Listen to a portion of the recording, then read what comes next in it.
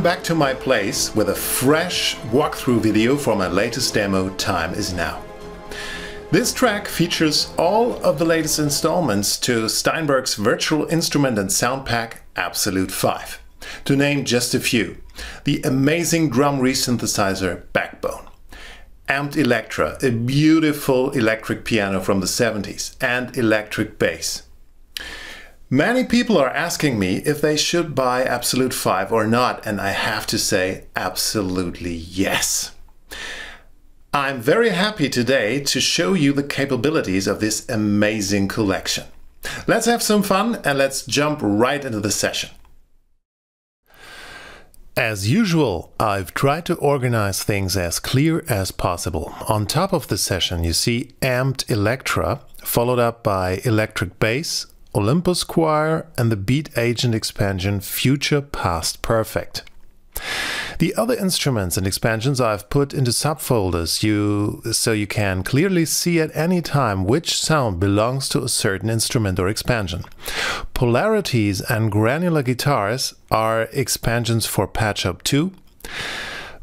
Backbone I've already mentioned, while Sounds of Soul is a cool expansion for Retrologue 2. All of the orchestral colors are coming from the good old HALion Symphonic Orchestra that you can see down here. But first of all, let's have a first listen to Time Is Now.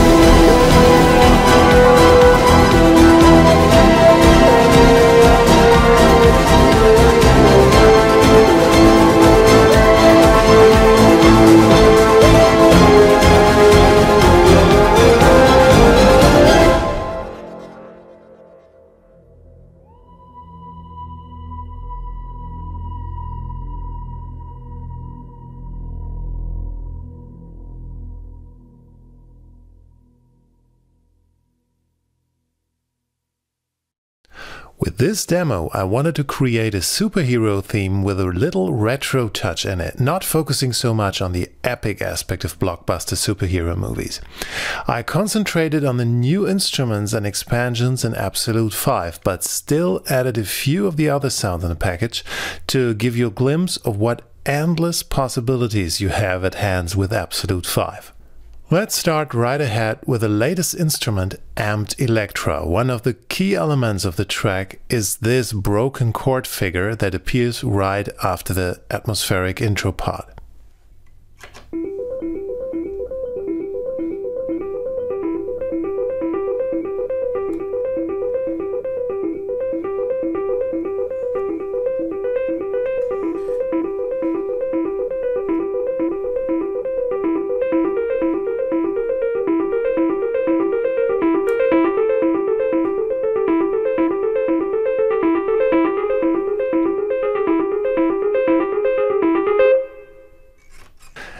Amped Elektra is the sampled version of a Hohner Electra electric piano from the 70s, which has an amazing character and a very soulful tone.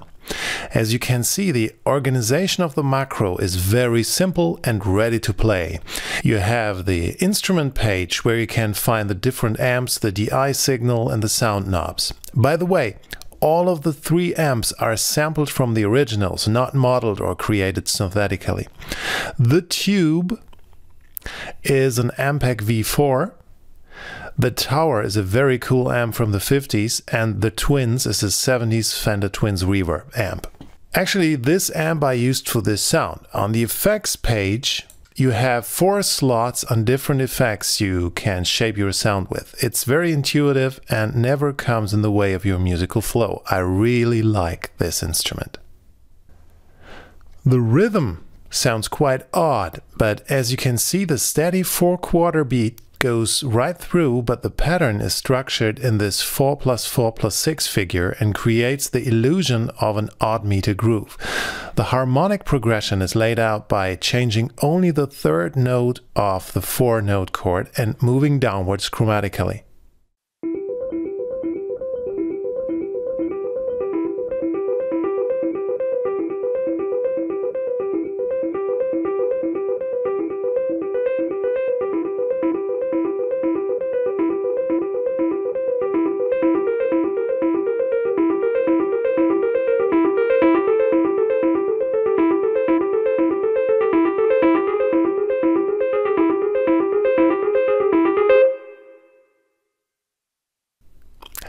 Outrigger instance of Amped Elektra creates an interesting effect. I've called it outrigger because the sound makes use of a stereo effect via the tremolo effect. While the phase is set to 180 degrees and the rate set to 1 quarter and sync tempo, it seems like the signal jumps from left to right, which makes some room for the other instruments and supports the odd meter illusion of the chord figure. Let's listen to this very subtle effect while soloing the part and switching the tremolo off from time to time.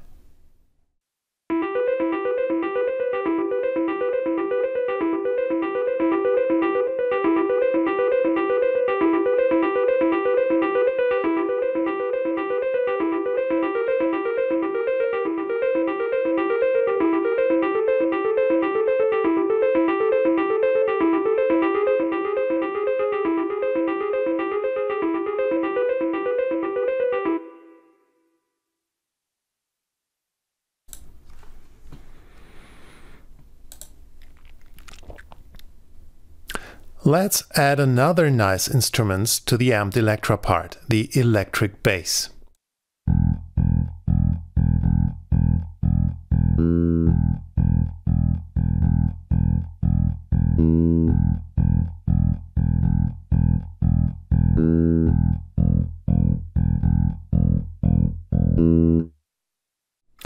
For this piece, I simply used the clean DI signal and the J-bass pickup what you can see is that the instrument, while being very complex with lots of articulations and amps and stuff, still comes along quite simple. You can just start playing. It's something I find very important with virtual instruments that they don't interfere with my musical flow, that they keep me playing, that they feel like being on an exploration ride instead of studying tech sheets and watching in depth tutorials before you even play your first note.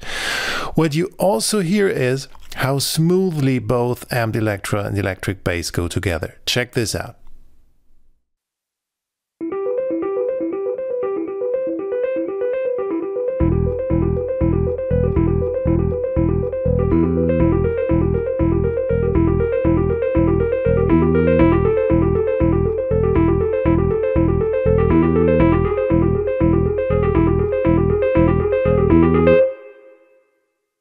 See? A really cool out-of-the-box sound. The bending effect, by the way, is simply done with a pitch bend wheel.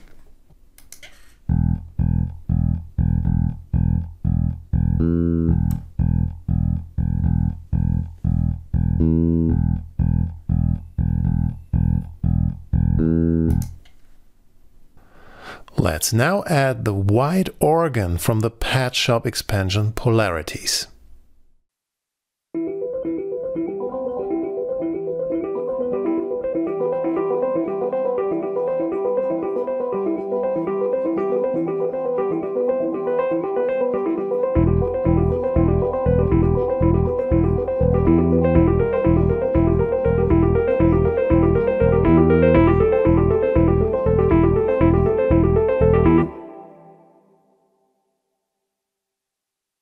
It's a typical layer sound to enrich the Amped Elektra foundation. The sound itself is cool, but together with Amped Elektra it forms something very special that helps to drag the listener into this retro superhero movie kind of world that I had in mind. Let's now have a look at the orchestra section, which actually in this track consists mainly of spiccato strings and brass. For the strings, I created a rack instance of HALion 6 and dragged in all the spiccato patches I needed. Two things are remarkable for this good old library. First is that there are A-B sections for violins, violas and cello, which helps a lot to create dimension if needed. Second is the up bow down bow feature that you can see here. It's triggered via key switch and you can create stunning performances with this feature. Let's look how I did this within the string section.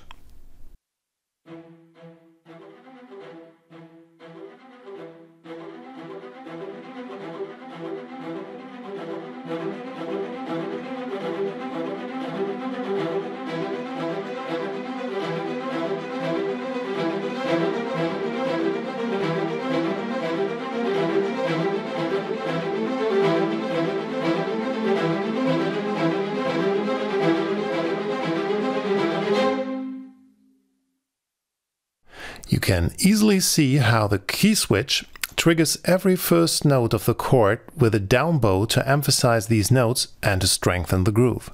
By the way, HALion Symphonic Orchestra was the very first orchestra library I bought when I was starting out working as a professional media composer. If I remember correctly, this must have been around 2006 or so. 15 years later, the library still sounds good, and it was quite funny for me meeting my younger self while working with these samples again. Two last additions to the part come from polarities again. First is the ARP pad and the step bass. Let's start with ARP pad.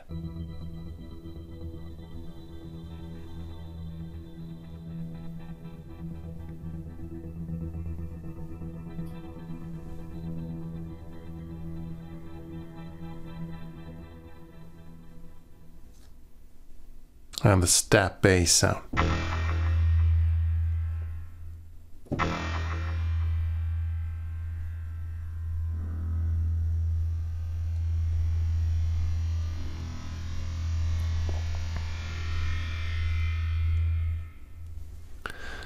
Interesting about the ARP pad sound is that it adds dimension as well as rhythm.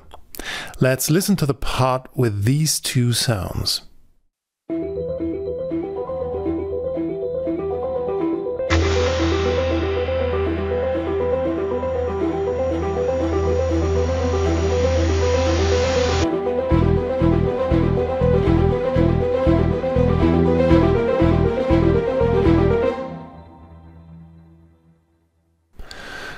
About the step bass is that it is as well an impact as a riser towards the end. I emphasize this effect by the automation of the loudness.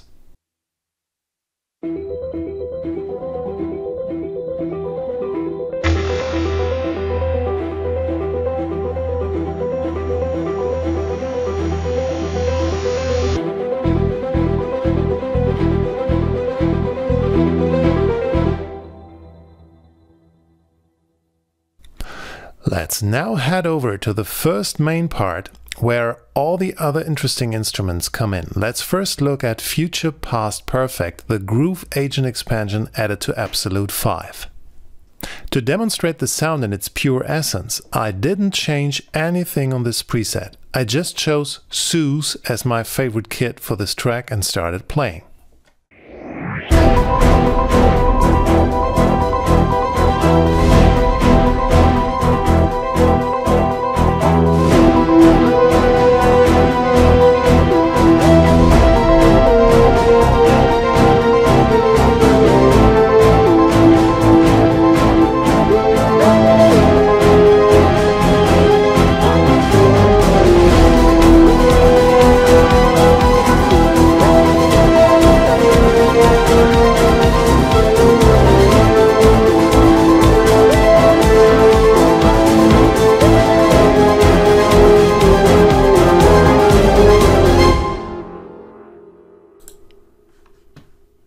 Again, but now only the Zeus kit.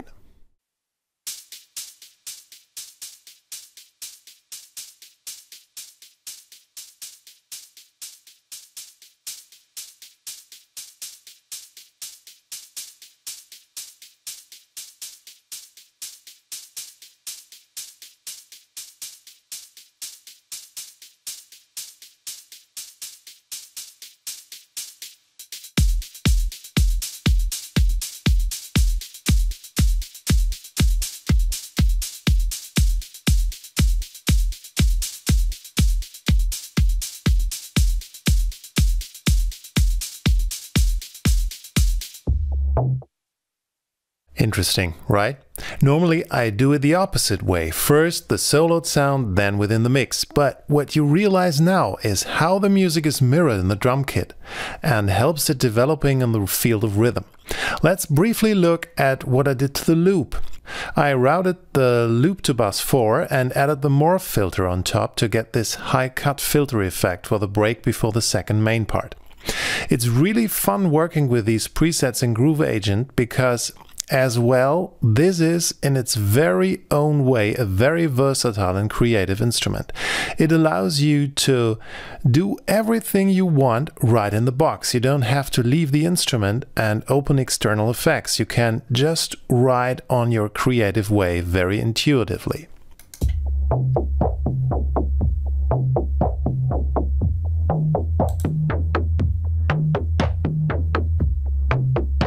This is the original sample and with a morph filter. Now is the time to introduce my personal main argument why to buy Absolute 5. Backbone. I've used Backbone in several of my other demos and videos, so you may have a look at them too. Very brief summary here. Backbone is a drum resynthesizer enabling you to divide your samples into a tonal and a noise part. Apart from that, you can tweak these layers in some very unique and cool ways. Let's look down here for the toms and snares instances, delivering some modern cinematic percussion for the track. For a demonstration, let's have a brief look at the Tom's Fat instance. As you can see, I chose two samples from the library coming alongside with Backbone and created my own patch, making heavy use of my favorite feature, the resynth. Let's skip through the layers and listen to what happens when deactivating the resynth section.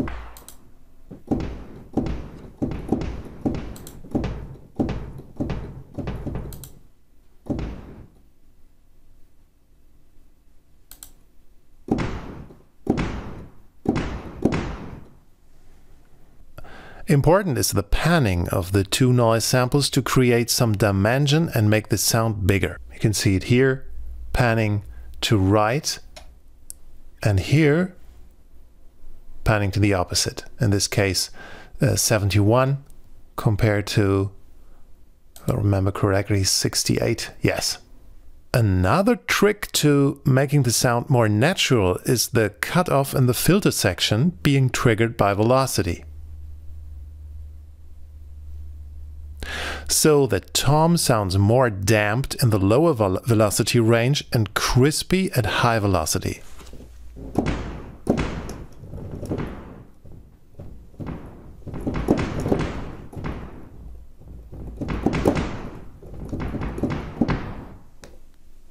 Thickened by the deep and synth tom instances, the groove sounds like this.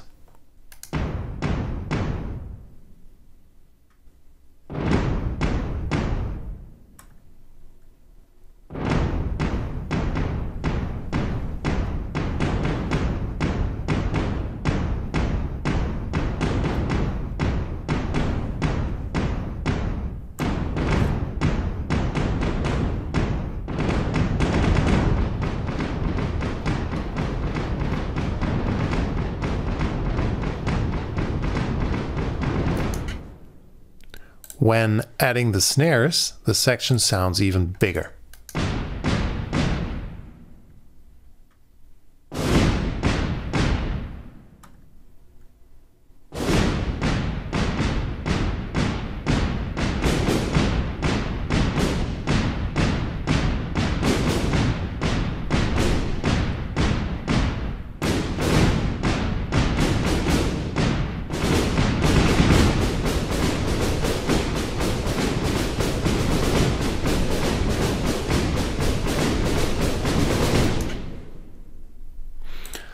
Again within the whole mix.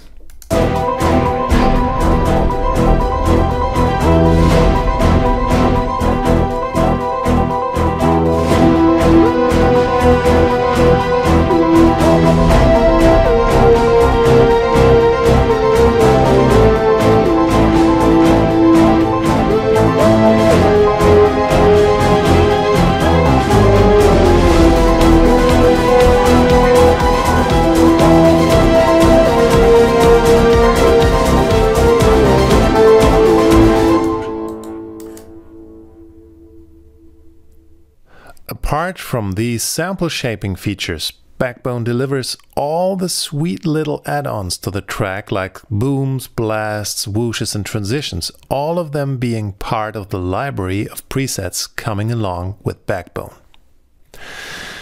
As you may have recognized, in the main part, the original Amped Elektra figure is layered with two other additional sounds, glass piano and strings fat lead.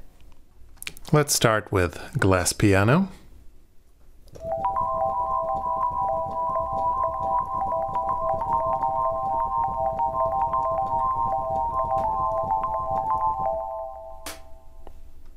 And the strings.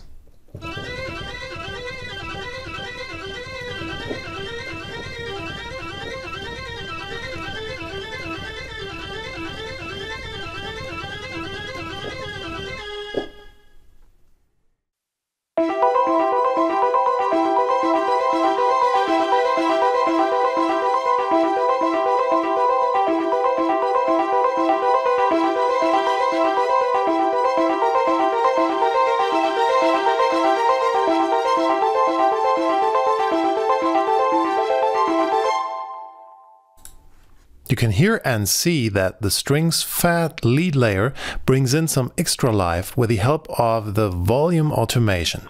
I also did that to fill the gaps while the melody stays on the longer notes. You can see that if you look at the automation in connection to the lead down here. Interesting thing with the new combination of layers in the main part is that all other sounds apart from the original Amped Elektra play one octave higher. That helps opening things up for the new section as well as making some room for the melody that appears here for the first time. That's a thing that I find very important to pay attention on the melody making the best performance possible in the given situation. Another aspect adding some variation to the original figure is these little randomly played variations of the original rhythmical pattern.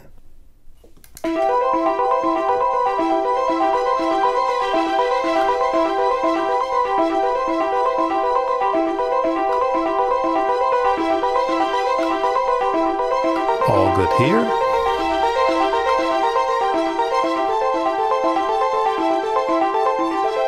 There was the first variation.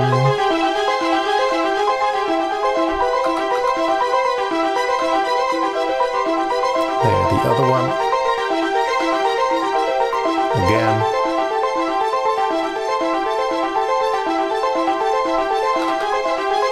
Coming back to the original combination at the end. It's one of those things you won't ever recognize but feel within the music. It creates the image of a longer phrase while still sounding repetitive and pulsating. Now that I've already mentioned the melody, let's look at the combination for the main theme here. The most recognizable of the two is this adorable theremin-like Be Good To You flute lead sound from the Sounds of Soul expansion. Of course, it's quite far away from an original theremin, but I wanted some of this retro vibe within the melody. To enrich the sound and to connect the melody to the orchestral colors, the horns double the melody one octave lower.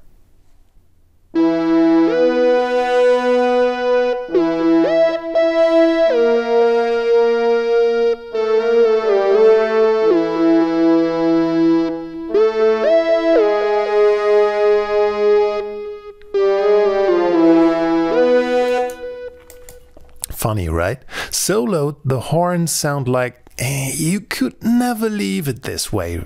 But let's listen to the part again with all the other stuff.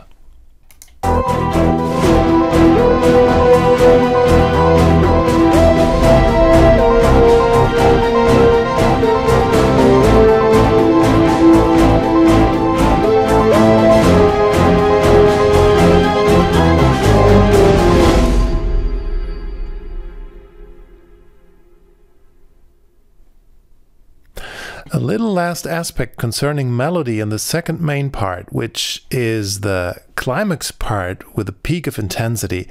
In this part, the violins take over the counterpoint figure that first appeared in the lower strings in the first main part and derive a new melody out of it. Let's check that out.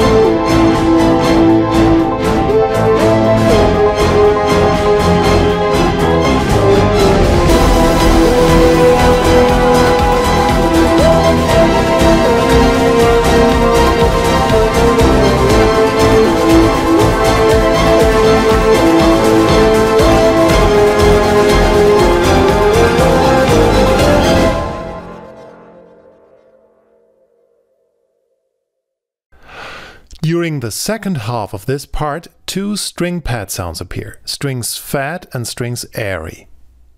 Let's start with the strings fat.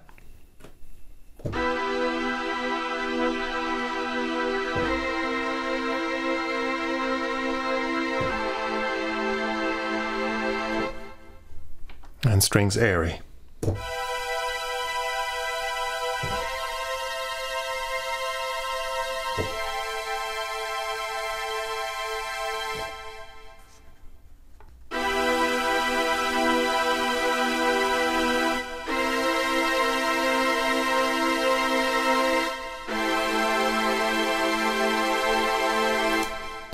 Very nice combination that adds richness and drama to the last climax part.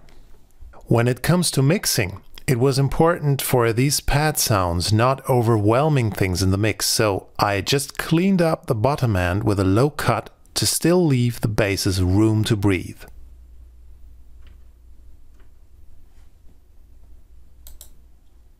One bass sound I wanted to mention. Metal bass with a corresponding preset named Atomic Metal Bass.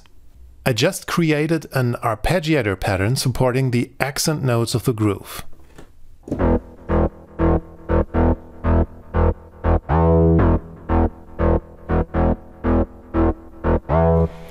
The two other instances are for the melodic break at the end of the melody and the five quarter beats at the end of the main part. Just for remembrance, all the sounds I've been talking about the last minutes are coming from the Sounds of Soul expansion for Retrologue 2, coming along with the new Absolute 5 collection. I can't say this often enough. Retrologue is such a flexible synth that it's very easy to use, once you are familiar with how synths work, of course. One last thing while we are again already heading towards the end of this video, the intro part where Olympus Choir Micro has its little but beautiful appearance.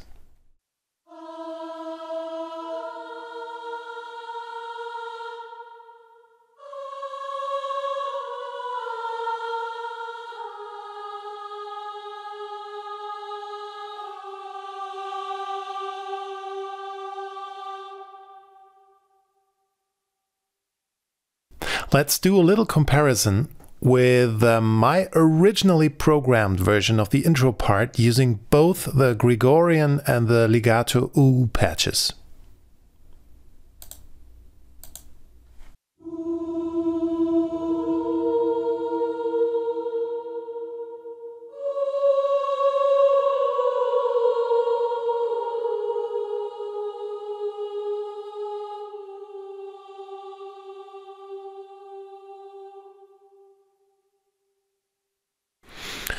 Now that the project file is online for you all, you may check out what version is your favorite. The lead shadow distance sound comes from the polarities expansion and works great together with the choir.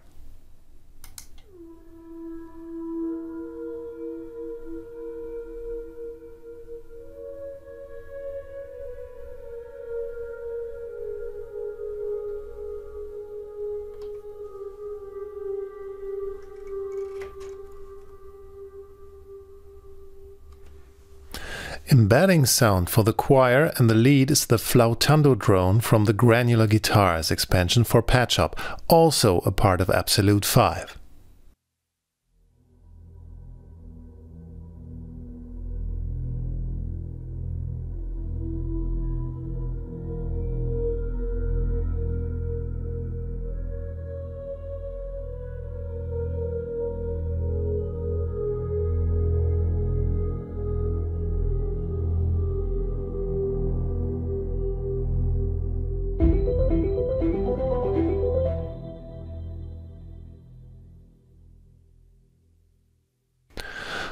Okay, there we are at the very end of this walkthrough video. I hope you've enjoyed the ride and this insight into the latest version of Absolute 5. Go ahead and download the project file to check out things for yourself or feel free to watch my other videos. I hope seeing you all again soon. Bye bye.